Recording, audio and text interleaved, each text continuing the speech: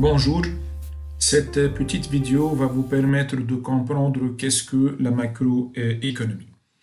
Pour commencer, euh, il faut savoir que la macroéconomie est une branche de la science économique d'une façon générale, au même titre que la microéconomie. Son but est d'étudier les relations entre les divers agents économiques, euh, à titre d'exemple, les ménages, les entreprises, l'État, euh, l'extérieur euh, et de réduire en fait la complexité qui peut euh, exister sur le marché d'une façon générale en faisant une schématisation plus concrète de la réalité et ceci suppose qu'elle va apporter des simplifications pour les relations entre les agents économiques. L'objet de la macroéconomie, comme on a dit, c'est la compréhension de l'activité économique dans son ensemble.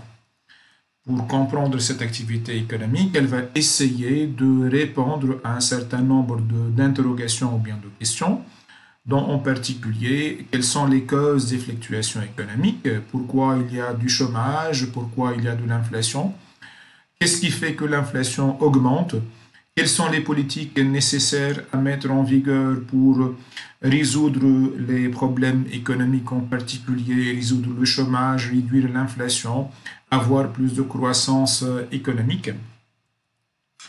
Et il est souvent question de distinguer entre microéconomie et macroéconomie. Commençons par voir la microéconomie. La microéconomie est une discipline de l'économie d'une façon générale qui va analyser bien qui va décrire le comportement individuel des agents économiques, c'est-à-dire elle va analyser le comportement individuel d'un consommateur ou bien d'une entreprise, en analysant évidemment l'offre et la demande. Euh, l'objectif étant de comprendre les décisions des ménages et des euh, entreprises. Euh, la microéconomie euh, cherche quant à elle à répondre à des questions du type quel choix doit-on faire l'individu euh, en particulier pour maximiser son bien-être, soit qu'il est un consommateur ou bien maximiser son profil s'il s'agit d'une entreprise. Quel va être le niveau de production d'une entreprise donnée? Maintenant, pour ce qui est de la macroéconomie, elle va essayer de comprendre l'activité économique dans son ensemble.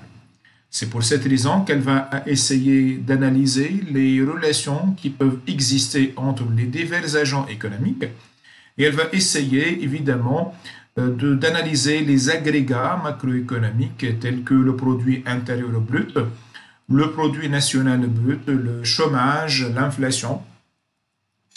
Voilà, donc euh, je vous remercie pour votre attention.